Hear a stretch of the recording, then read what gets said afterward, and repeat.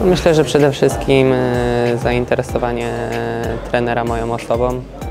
E, Dużo, dużo pozytywów słyszałem, e, szczególnie też e, w tym nowym ustawieniu bardzo dobrze się czuję, dlatego, dlatego zdecydowaliśmy razem z moimi menażerami, że, że to będzie dobry, dobry krok, aby grać. No na pewno celem, celem Warty jest e, utrzymanie, także e, wierzę w to, że, że osiągniemy ten cel.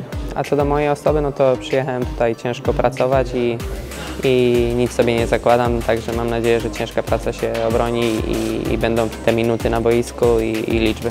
Na pewno już, już e, najgorszy moment e, dawno za mną, już od ponad e, pół roku trenuję, trenuję na, na maksymalnych obrotach, także Także z tego się cieszę. Dobrze wykorzystałem ostatnie te pół roku e, w Lechii, dobrze się przygotowałem z trenerem e, przygotowania.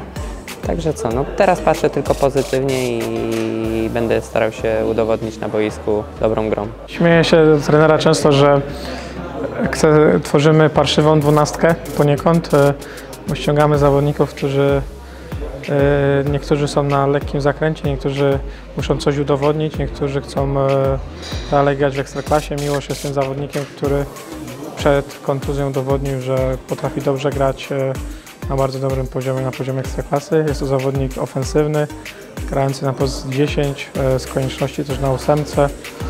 Mm, Świetnie znajduje przestrzenie, dobry technicznie, potrafi dać końcowe podanie i strzelić też bramki, dlatego do nas trafił. Wiadomo, że ostatnio nie grał dużo przez kontuzję, potem zmiany klubowe, więc e, liczę na to, że uda nam się razem osiągnąć sukces, e, czyli Miłosz będzie w bardzo dobrej formie na wiosnę i wróci do Lechii Gdańsk, a my dzięki Miłoszowi zdobędziemy kilkanaście punktów więcej.